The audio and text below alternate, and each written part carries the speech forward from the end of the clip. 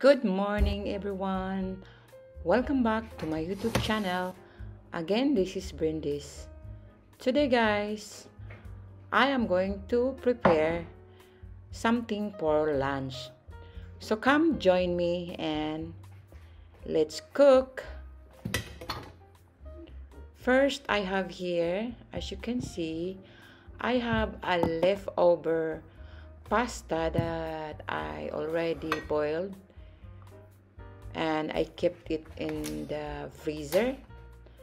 Now, I am going to saute my onion.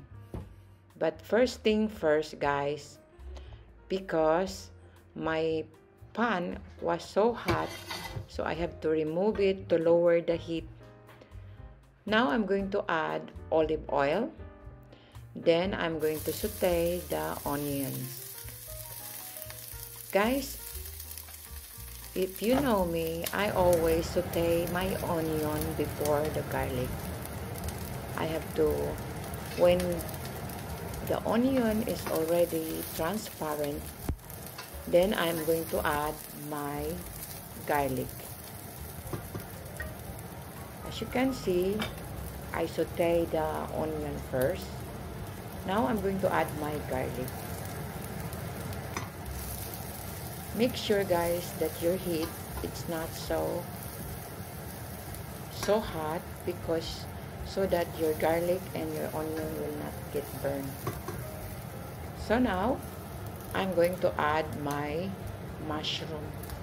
But first I am going to add the cherry tomatoes because it's it's good when you add a little bit of tomatoes now I finished to saute my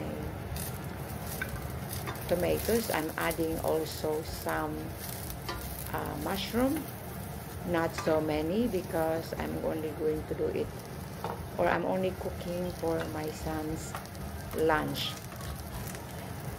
because his school is just close by and when he has a break time he come home and or he comes home and uh, grab something to eat. So I decided to cook early today so he can have some lunch.